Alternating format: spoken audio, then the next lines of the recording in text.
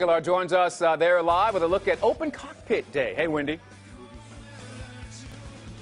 Hey, good morning, guys. Come fly away, fly away, come fly with me. Hey. Now, this Okay. is just one of the aircrafts. You can really get inside and take a look at everything in here, and it's really fascinating. I was just sitting here, and I was I was gonna fly, but you know what? I'm just uh, you know, I gotta be at work this weekend, so because of that, we're just gonna stay here. But Roxanne, you're gonna be here this weekend, and Absolutely. this Saturday, everyone can come out here and enjoy all these beautiful aircrafts, right? Yes, it's one of our open cockpits. We do this about three times a year. We open many of our aircraft that aren't normally open during our normal business hours.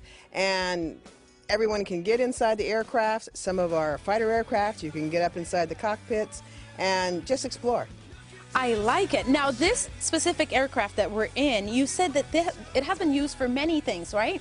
Correct. This is an Albatross, and it was an Air Force plane that became a Coast Guard plane. It came back to an Air Force, and then it came here finally as a Coast Guard aircraft. And it kind of it honors the Coast Guard station across the street as well. Uh, but this plane could actually land in snow, in water, and in a regular runway also. I love that. That's fascinating. Now, obviously, I can't fly it, but we could probably sit here and uh, buckle up and pretend like we're taking off because these, even the seatbelts here, are fascinating. Well, this actually can be reconfigured for seats, for cargo, and as you saw up front, there are some uh, stretchers that if you had to take some wounded or, you know, flight crews had to rest. So it, it's a very versatile aircraft. I love it. I love it. So, you guys are open, what time? Nine?